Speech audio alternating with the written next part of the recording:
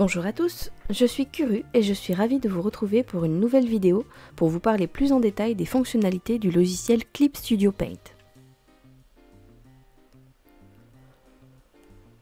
Vous avez choisi de regarder cette vidéo car vous avez probablement envie de réaliser vous-même votre propre manga. Vous avez des tas d'idées en tête, des personnages, des scènes, et peut-être même déjà commencé à faire quelques planches sur Clip Studio Paint. Vous avez suivi mon conseil dans la vidéo prise en main et vous avez fait connaissance avec votre outil, mais vous sentez qu'il vous manque encore quelques tips pour être plus efficace. Vous le savez sûrement, Clip Studio Paint est un logiciel très complet qui peut s'utiliser pour réaliser des œuvres très différentes. On peut l'employer pour créer des illustrations, des bandes dessinées, des mangas, des webtoons et même des animations. Vous n'allez pas utiliser tous les outils de votre logiciel en même temps, et c'est pourquoi aujourd'hui je vous propose de découvrir ou de redécouvrir les différentes fonctionnalités que Clip Studio Paint nous met à disposition pour créer un manga. J'utilise Clip Studio Paint X dans cette vidéo, mais sachez qu'il existe d'autres versions. Si vous débutez en dessin numérique, rendez-vous dans la description de la vidéo pour obtenir une version exclusive de Clip Studio Paint début, gratuite pendant un an.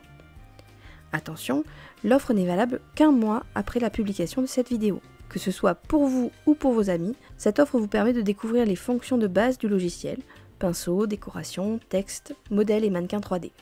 Si vous souhaitez tester Clip Studio Paint X, une version d'essai de 3 mois est également disponible sur leur site. N'hésitez pas à aller voir. Petite parenthèse, lorsque je parle de manga, j'évoque une histoire racontée en séquence sur plusieurs pages dessinées en noir et blanc. Ceci est un manga par exemple. Ceci est un dessin de personnage issu d'un manga. Si vous n'avez pas encore d'idées précises ou si vous avez besoin d'aide pour écrire votre scénario ou développer vos personnages, je vous recommande la lecture de nos articles sur la plateforme mangacoaching.com où nous sommes plusieurs rédactrices à partager plein de conseils sur le sujet.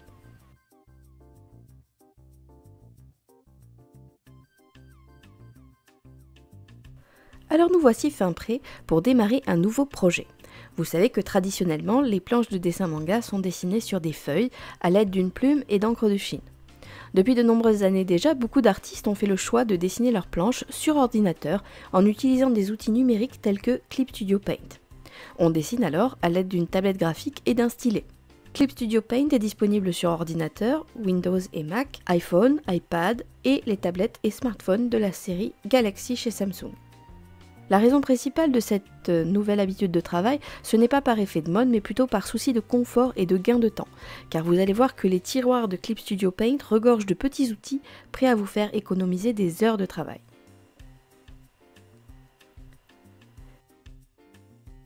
Une fois que votre scénario et votre storyboard sont prêts, la première étape sur votre logiciel consiste à créer et paramétrer un nouveau projet. Pour vous montrer un exemple, j'ai préparé un petit storyboard de quelques pages.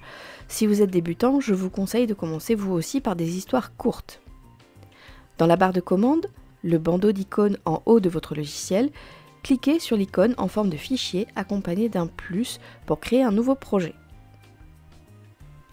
Une petite fenêtre s'ouvre et vous propose de préciser votre démarche.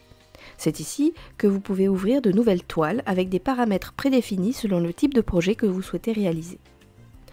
Pour créer un manga, vous pouvez cliquer sur l'icône BD, fanzine ou afficher tous les réglages de BD.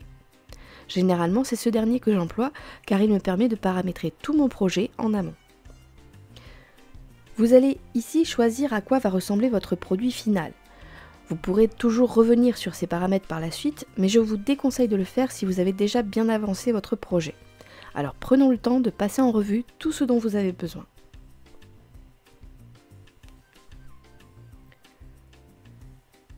Dans cette fenêtre de réglage, vous voyez apparaître énormément de choses et pour ne pas s'y perdre, voyons ensemble à quoi elles correspondent. Tout d'abord, les paramètres de toile. La toile, c'est le fichier sur lequel vous allez dessiner dans le logiciel. Pour vous donner une idée, la toile c'est comme la feuille de papier sur laquelle vous allez faire votre planche. Vous pouvez choisir une toile 2, 3, 10 fois plus grande que la taille définitive de votre planche. Tout est question de confort. Sélectionnez dans le petit menu déroulant l'unité de mesure qui vous correspond. Personnellement j'utilise les millimètres mais on peut très bien raisonner en centimètres ou en pixels. Regardez comme ce petit aperçu de page est très utile pour voir l'encombrement de votre marge et du fond perdu. Je vous conseille de garder les réglages proposés par Clip Studio Paint car ils correspondent à ce que vous pourriez avoir sur une feuille de papier et vous verrez que travailler sur des toiles trop grandes peut aussi avoir des inconvénients. Toujours dans les paramètres de la toile, vous devez dès à présent choisir si votre manga sera publié en ligne ou sur papier. C'est important car de là va découler les paramètres de résolution des pages. La résolution correspond au nombre de pixels par pouce, les fameux PPP ou DPI. Plus le nombre de pixels par pouce est important, plus votre image sera précise et détaillée. Mais attention, avec plus d'informations sur chaque fichier, ceux-ci seront plus lourds et pourront parfois mettre à mal votre système d'exploitation. Choisissez la résolution adaptée à votre projet. 600 ou 1200 ppp pour des planches en noir et blanc, 300 ou 350 ppp pour des fichiers couleurs. La couleur basique d'expression détermine si vos planches seront en couleur, en nuance de gris ou en noir et blanc. Il est possible de réaliser des planches en couleur ou en nuance de gris pour des lectures en ligne par exemple, mais les mangas sont traditionnellement imprimés en noir et blanc. Si vous sélectionnez l'option monochrome pour vos planches, vous verrez un nouveau réglage apparaître, celui de la linéature de trame. Les trames sont des petits points noirs répartis de manière uniforme ou en motif pour donner l'illusion de zones remplies en gris sur les pages de manga. Il n'y a pas de gris en manga, souvenez-vous, on a choisi de travailler en monochrome, soit qu'avec du noir et du blanc. Et le blanc c'est tout simplement l'absence de noir. La linéature de trame correspond au nombre de points noirs sur une surface donnée. Plus il y a de points, plus la trame paraît sombre et inversement. Je vous conseille une linéature par défaut de 60, mais ne vous en faites pas, vous pourrez modifier ou personnaliser vos trames directement sur vos planches plus tard. Vous verrez qu'on peut également modifier la taille des points. De base, le fond de votre toile est rempli en blanc. Si pour X raison vous souhaitez changer cette couleur et la passer en noir par exemple, c'est possible en cliquant ici. Vous pouvez même carrément enlever la couleur de fond, pourquoi pas? Il existe enfin des modèles de planches que vous pouvez utiliser, mais attention, car à moins d'avoir un séquençage particulier, toutes vos pages n'auront pas le même découpage. Et je vous conseille vivement d'adapter votre découpage à votre histoire et non l'inverse. Là où ce paramètre peut être intéressant, c'est si par exemple vous faites un recueil de yonkoma, ces petites histoires courtes en 4 cases où chaque case fera toujours la même taille.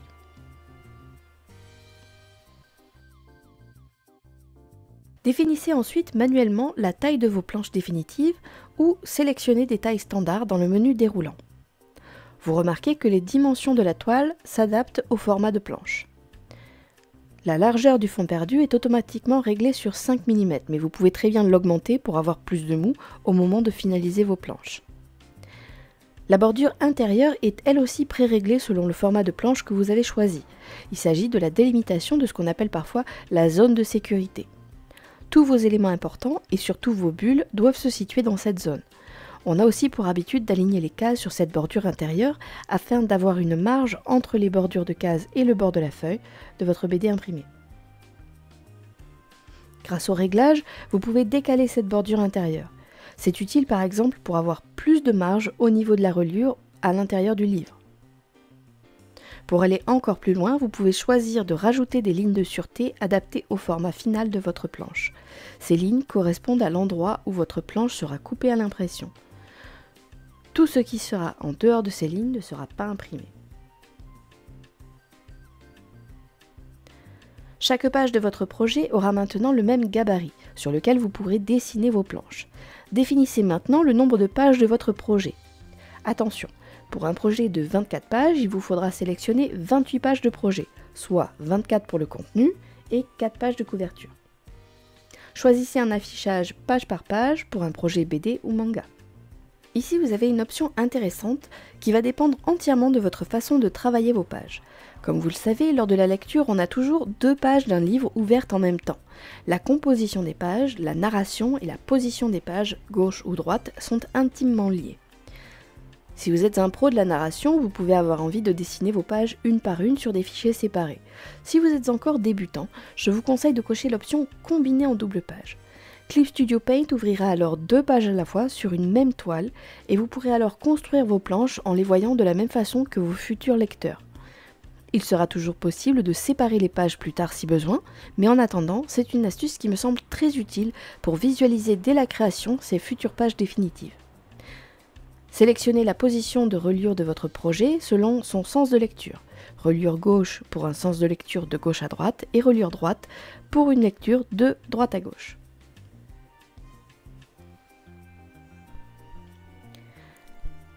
Allez, on a presque terminé les réglages.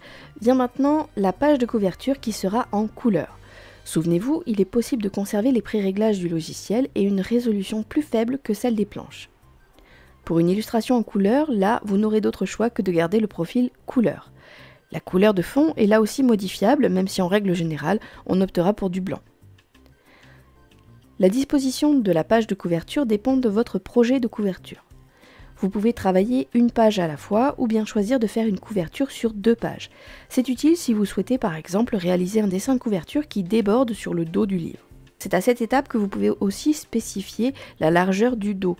Là, c'est vraiment un aspect technique propre à l'impression pour lequel vous devez connaître le format final de votre manga une fois imprimé. La largeur du dos dépend du nombre de pages, de l'épaisseur du papier, de la fabrication de la couverture. Donc si vous n'en êtes qu'au début de votre projet, inutile de s'embarrasser avec ce réglage qui pourra être modifié plus tard. D'ailleurs, je profite de ce moment pour vous conseiller de réaliser votre couverture à la toute fin de votre projet. Celle-ci doit refléter l'intérieur du livre et raconter, ou du moins teaser, toute votre histoire en une seule image. Cette image doit être la plus belle, car c'est la première que vos lecteurs verront et qui leur donnera l'envie, l'impulsion d'ouvrir votre livre. Dessinez votre couverture à la fin, car vous aurez alors toutes vos pages et toute votre histoire dans la tête et dans les doigts.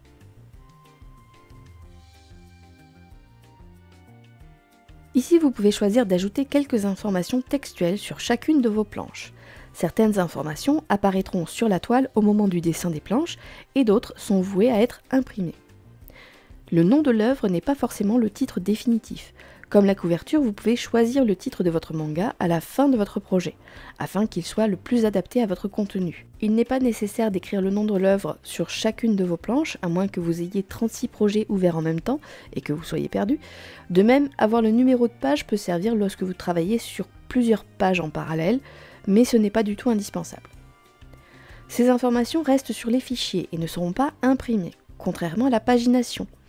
Celle-ci est utile si vous souhaitez faire apparaître le numéro de page sur votre livre une fois imprimé. Par défaut, la page 1 correspond à la couverture. Attention au décalage si par exemple vous avez numéroté les pages de votre storyboard en commençant par 1. Il suffit de faire démarrer votre pagination sur un chiffre différent.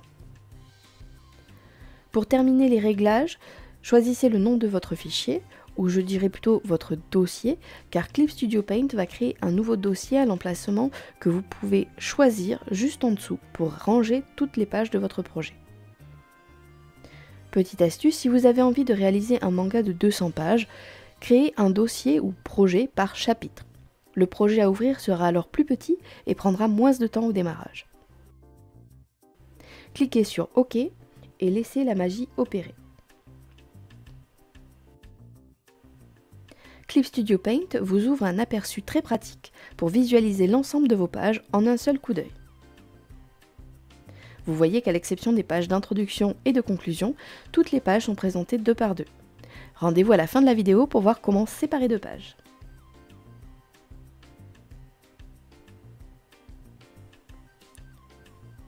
Pour revenir sur les réglages généraux de vos pages, rendez-vous dans la barre de menu tout en haut de votre logiciel et sélectionnez Histoire, puis modifiez les paramètres de projet. La fenêtre de réglage est de nouveau accessible pour peaufiner ces réglages.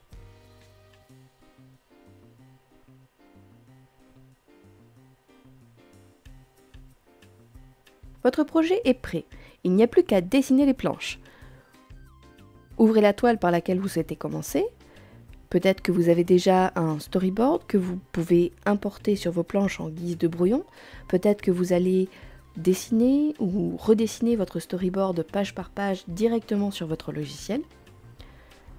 Une fois que votre storyboard est prêt, commencez par tracer au propre les cases de votre manga. Pour ça, vous avez le choix entre plusieurs options.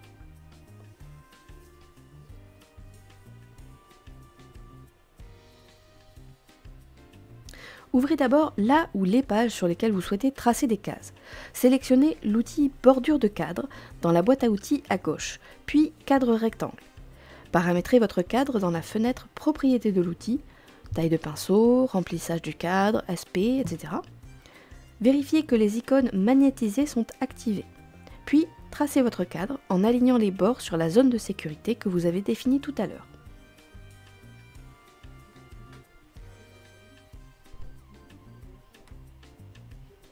Pour l'exemple, j'ai créé deux cadres et vous voyez que Clip Studio Paint a ouvert deux nouveaux calques sur lesquels on peut à présent dessiner les cases. Pour aller plus loin dans le découpage des cases, voyons ensemble comment ajouter des gouttières. Dans la fenêtre Outils secondaires, sélectionnez Couper la bordure de cadre, puis divisez la bordure de cadre pour garder toutes vos cases sur le même calque, ou divisez le dossier de cadre pour obtenir un calque par case. Vous pouvez déterminer la taille des gouttières très facilement et vous assurer une homogénéité entre les pages de votre manga. Une fois que vos cases sont tracées, vous pouvez revenir dessus à l'aide de l'outil Opération. Cliquez sur les flèches en jaune pour décaler la bordure de vos cases. Vous pouvez étirer, déformer les cases sans perdre leur alignement. Si votre découpage le requiert, sachez que vous pouvez aussi tracer des cases avec des bordures arrondies.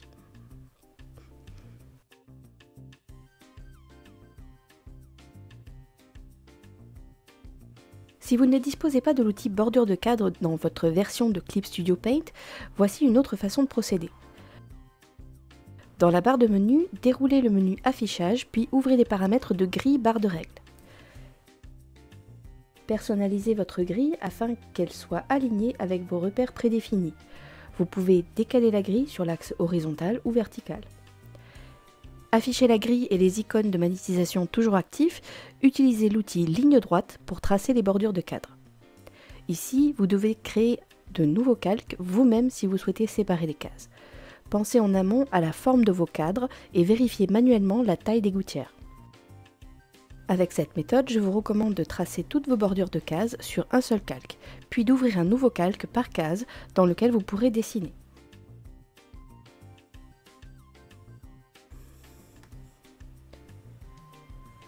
Une fois que vos cases sont prêtes, c'est le moment de dessiner.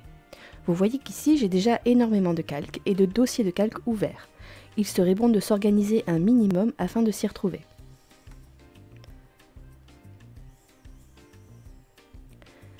Il suffit de double-cliquer sur un calque ou un dossier afin de le renommer. Si vous travaillez en double page, il peut être utile de regrouper toutes les cases d'une même page dans un dossier portant le numéro de page cliquez sur l'icône Nouveau dossier de calque, puis glissez et déposez les autres calques et dossiers que vous souhaitez rassembler. Vous pouvez masquer des dossiers, cacher des calques et vous concentrer sur un bout de page à la fois. Si vous n'avez pas l'habitude des calques, sachez qu'ils sont très pratiques pour séparer les éléments de votre dessin.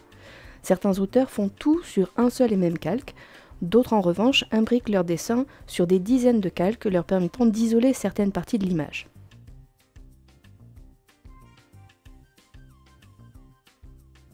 Vous avancez dans le dessin de vos pages et aïe, ici ça coince, la pose du personnage sur cette scène pose problème. On a besoin d'un petit coup de pouce et Clip Studio Paint peut une fois de plus nous faciliter la tâche. Ouvrez l'onglet 3D dans le catalogue de matériaux, choisissez un modèle 3D qui ressemble à votre personnage, puis glissez et déposez le pantin sur votre case.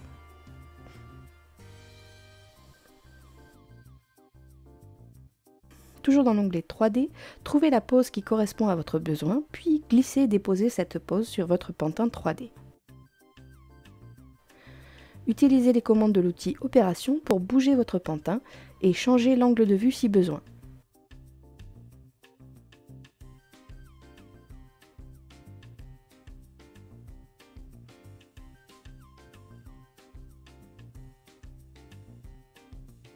Chaque articulation peut être sélectionnée pour adapter la pose du pantin à la scène.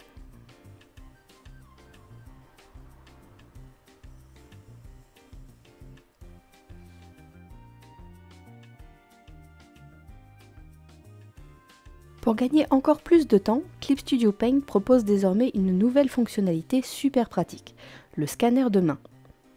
Cliquez sur la main du pantin que vous souhaitez modifier, puis, dans la trousse à outils affichée en bas, venez récupérer le scanner de pose puis le scanner à main.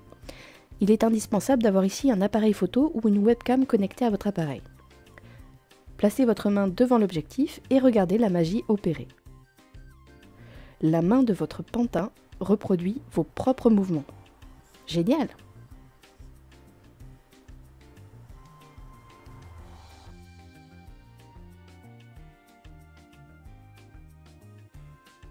Une fois que votre pose est bien établie, vous pouvez aller plus loin en ouvrant les paramètres du modèle 3D. Cliquez sur la petite clé à molette dans votre boîte à outils. Dans la nouvelle fenêtre, sélectionnez les paramètres qui vous intéressent. Dans l'onglet Mannequin 3D, vous pouvez préciser la morphologie de votre pantin ainsi que sa taille et son rapport tête-corps. L'onglet Pose vous permet de revenir sur vos paramètres de pose et notamment sur la pose des mains qui sont ici modifiables très facilement.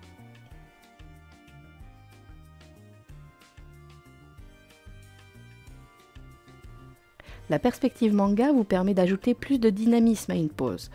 N'en faites pas trop non plus, au risque de déformer complètement votre personnage. Vous pouvez appliquer une source de lumière sur votre pantin et faire apparaître ou non des ombres. Pour ma part, je préfère ne garder que les contours et les volumes afin de ne pas surcharger mon brouillon.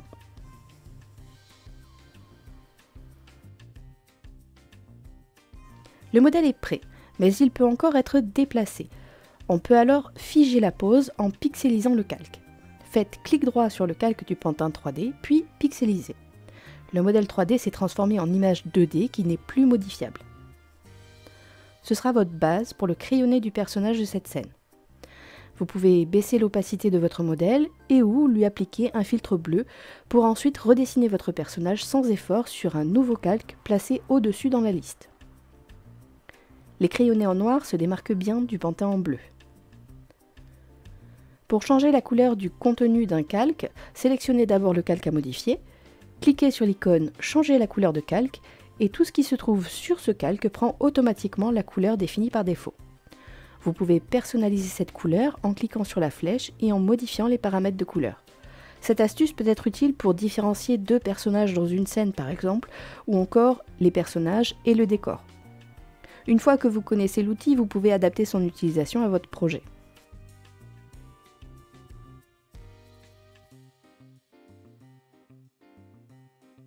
Une fois le crayonné de vos cases terminé, vous pouvez passer à l'ancrage. Là encore, je vous conseille de changer la couleur du crayonné et de baisser son opacité afin de vraiment voir ressortir votre ancrage et ne pas le rater. Pour réaliser votre ancrage, soit la version définitive de votre dessin, vous pouvez choisir des outils d'ancrage, les paramétrer selon votre style et vos envies. Vous pouvez aussi récupérer des outils paramétrés par d'autres utilisateurs dans Clip Studio Assets. Je vous explique comment récupérer des matériaux dans la vidéo prise en main de Clip Studio Paint. Mon astuce pour l'ancrage, c'est de commencer par les bulles et les dessins de premier plan. Vous pouvez ensuite sélectionner le fond et placer un décor ou des effets psychologiques plus rapidement. Vous pouvez choisir d'ancrer vos bulles à main levée comme vos personnages. Les bulles tracées à la main sont plus authentiques selon moi, mais elles ne permettent pas tous les effets que je m'apprête à partager avec vous. Placez-vous dans le dossier de votre case en cours. Rendez-vous dans le catalogue de matériaux, dans le menu Manga matériel, puis Balloon. Sélectionnez la bulle qui convient, bulle de parole, bulle de pensée, bulle de chuchotement, etc. Puis glissez-déposez sur la toile. Les bulles proposées par Clip Studio Paint peuvent être placées par-dessus le dessin une fois qu'il est terminé, et non imbriquées dans l'ancrage. C'est une astuce qui rend les modifications plus confortables s'il faut par exemple augmenter ou diminuer la taille d'une bulle ou du texte au moment de la relecture de votre manga avant impression. La bulle n'est probablement ni à la bonne taille ni au bon endroit pour l'instant, mais ce n'est pas un problème. Grâce à l'outil Opération, vous pouvez personnaliser les propriétés de l'outil, changer la taille et même la couleur de votre bulle. Si plus tard dans le chapitre je réalise que l'épaisseur des lignes de bulles est trop fine ou trop épaisse, il me suffit de revenir sur ces paramètres pour les modifier en un seul clic.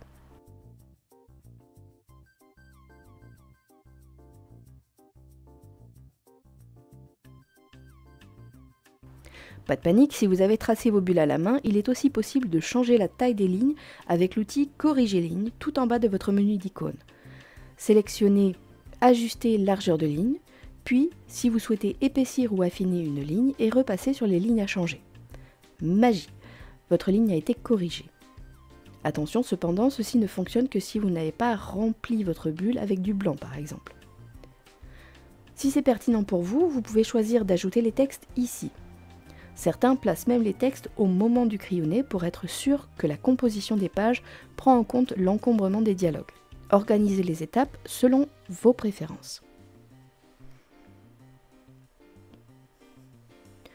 Pour ajouter des dialogues dans vos bulles, cliquez sur l'icône texte dans le menu d'icônes. Sur un nouveau calque, créez une zone de texte, puis commencez à écrire votre dialogue. Vous voyez que si je modifie la zone de texte, celui-ci s'adapte au cadre. Choisissez la police, la taille du texte, l'espacement des lettres, le style, l'alignement, puis validez en cliquant sur la coche. Pour l'instant, le texte et la bulle sont sur des calques séparés. Il me suffit de cliquer sur Fusionner au calque inférieur pour placer ma zone de texte directement dans la bulle. On aurait pu directement tracer la zone de texte dans la bulle pour gagner du temps, mais je voulais vous montrer la possibilité de fusionner des calques. Toujours avec l'outil Opération, vous pouvez ajuster, modifier, paramétrer vos textes et bulles comme vous le voulez.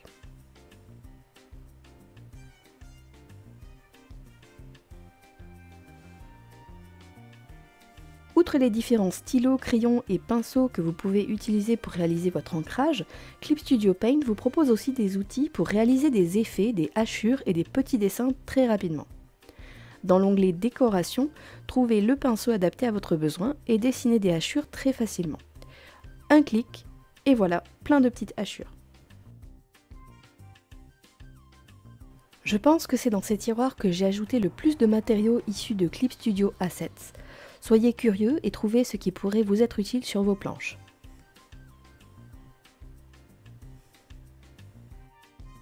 Sur certaines scènes d'action, vous aurez peut-être besoin de lignes de vitesse. Utilisez l'outil baguette magique pour sélectionner la zone dans laquelle vous souhaitez placer des lignes de vitesse. La sélection peut se faire sur un calque unique ou prendre tous les calques en compte. Créez un nouveau calque dans votre liste et remplissez la zone sélectionnée en blanc. Je coche la couleur blanche, puis je clique sur le pot de peinture. Vous pouvez annuler la sélection car vous n'en avez plus besoin. Passez ensuite le calque en mode produit dans la liste de modes de combinaison. Un calque blanc en mode produit est invisible. Venez maintenant trouver les lignes de vitesse, aussi appelées lignes saturées, dans le même tiroir que les lignes et formes géométriques. Sélectionnez ligne saturée dense, puis paramétrez votre outil en choisissant la taille du pinceau, l'espacement et la position des lignes. Faites attention au calque de destination de vos lignes de vitesse.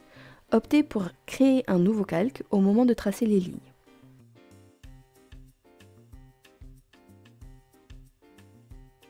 Alignez votre calque de ligne sur le calque invisible en cliquant sur Masque d'écrétage sur le calque inférieur.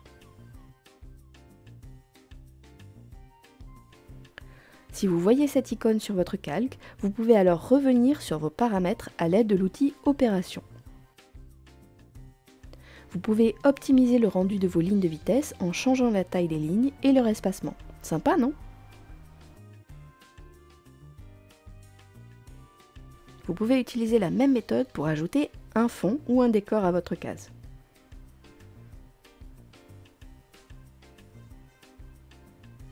Plus vous avancez dans votre projet et plus il y a de calques dans votre liste. Sachez que toujours par souci d'organisation, vous pouvez attribuer des couleurs à vos calques ou dossiers de calque. Attention, ce n'est pas comme tout à l'heure où le contenu du calque changeait de couleur, mais bien la couleur du dossier dans la liste.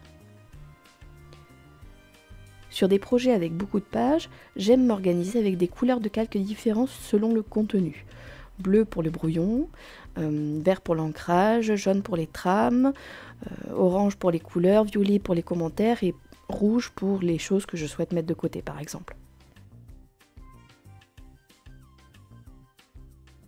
Organiser ces dossiers n'est pas indispensable, mais Clip Studio Paint nous permet de le faire et ça, c'est pratique.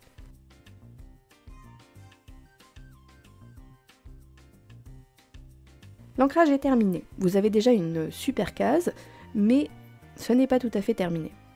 Dans la plupart des mangas, on retrouve des trames. Souvenez-vous, ce sont ces zones en gris, ou plutôt des petits points noirs plus ou moins espacés. Ces zones servent à deux choses, représenter les ombres et les lumières, mais aussi les couleurs. Vous pouvez décider de ne mettre aucune trame sur vos planches, les ombres pouvant être représentées par des hachures. Si vous optez pour des trames, il existe plusieurs façons de procéder. Dans votre bibliothèque de matériaux, vous pouvez récupérer des trames prédéfinies et les glisser-déposer sur votre toile. Utilisez la technique de masque d'écrétage sur le calque inférieur pour ne faire apparaître votre trame qu'aux endroits souhaités. Mais ma technique préférée est un peu différente.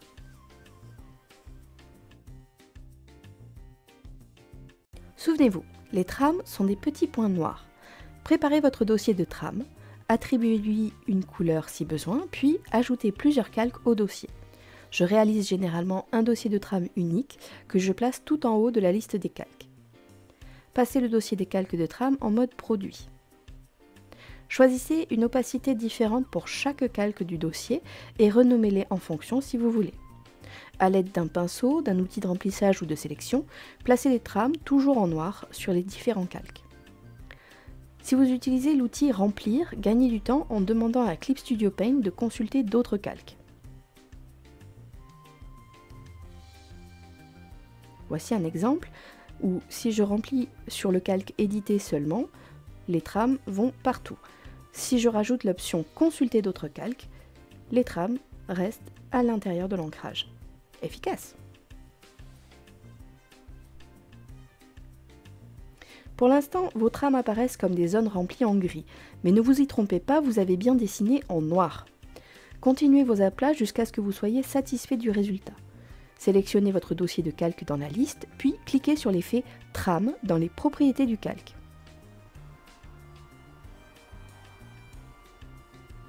Tadam Le résultat est instantané. Vous remarquez qu'on retrouve nos paramètres de projet avec une linéature automatiquement réglée sur 60. Essayez de bouger ce réglage et vous verrez les effets possibles. Plus la linéature est importante, plus les points sont rapprochés. Terminez de personnaliser votre âme en modifiant les paramètres du point. Remplacez les petits points noirs par des lignes, des motifs ou même un effet bruit si vous le souhaitez.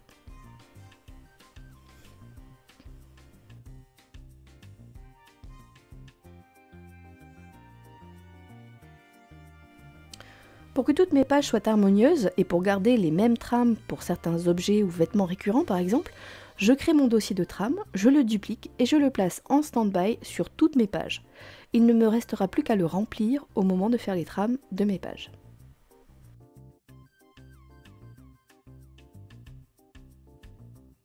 Comment ça, ce n'est pas tout? Allez, laissez-moi vous montrer une dernière astuce concernant les trames et plus particulièrement les effets de lumière. Cette fois-ci, nous allons dessiner en blanc, soit directement sur les calques concernés, soit sur un calque en masque d'écrétage sur le calque inférieur. J'en profite pour vous donner une astuce. Si vous avez peur de vous tromper de calque ou d'abîmer le contenu d'un calque, vous pouvez verrouiller le calque en cliquant sur le petit cadenas. Une fois verrouillé, vous ne pouvez plus toucher au contenu de ce calque. Juste à côté, vous trouverez une icône Verrouiller les pixels transparents.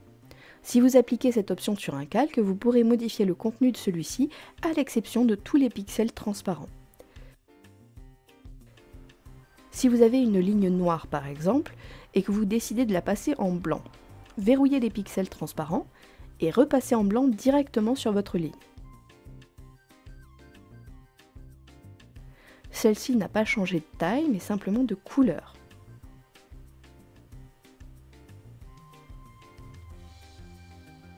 Ainsi, pour ajouter des lumières sur vos zones de trame sans toucher aux autres, vous pouvez choisir de verrouiller les pixels transparents d'un seul calque et utiliser l'outil Hachure pour grattage de teinte. Sinon, créez un nouveau calque en blanc que vous placerez tout en haut de la liste de calques de trame. Hop là, une petite lumière par-ci, une petite lumière par-là. Je vous rappelle que le blanc en mode produit est transparent. Ainsi, les effets de lumière sur les trames ne s'appliquent pas au calque d'ancrage. Si vous souhaitez faire apparaître le blanc, passez le dossier en mode au travers, puis réglez l'opacité du calque blanc pour obtenir l'effet désiré. Vous savez à présent comment ajouter des lumières sur votre âme. Et souvenez-vous que vous pouvez aussi créer un autre calque, le placer au-dessus d'un calque d'ancrage, de trame, de décor ou même d'un dossier, le lier en cliquant sur l'icône masque d'écritage, et tout ce que vous allez dessiner n'apparaîtra qu'au niveau des zones définies par le contenu du calque inférieur. Et voilà. Elle est sympa cette case terminée. Allez, plus que 23, 187, 100 000. J'espère qu'à travers cet exemple, vous vous êtes familiarisé avec quelques-uns des précieux outils de votre logiciel Clip Studio Paint. Je ne les ai pas tous évoqués bien sûr, il vous reste encore de nombreuses fonctionnalités à découvrir et c'est tant mieux. Tenez par exemple. Ah zut, je me suis trompé, j'ai dessiné cette double page au mauvais endroit. Et... Zut Il suffit de glisser puis déposer la double page sur l'aperçu pour changer l'ordre des pages dans mon projet. De même, je vous avais promis que vous pourriez séparer des pages de votre projet après coup. Pour cela, il suffit de sélectionner la paire de pages qui ne s'entend plus, puis faites clic droit pour choisir de diviser les pages. Celles-ci sont à présent séparées à tout jamais. Ou pas, car on peut toujours leur faire faire la paix et recombiner les pages. N'hésitez pas à faire des planches test, ouvrez une nouvelle toile, testez des outils. Cliquez sur tous les boutons, on ne sait jamais, vous pourriez peut-être débloquer un niveau secret. En tout cas, trouvez les outils qui vous plaisent, ceux qui vous font gagner du temps. Ne cherchez pas la perfection tout de suite, persévérez et surtout, amusez-vous. Bon dessin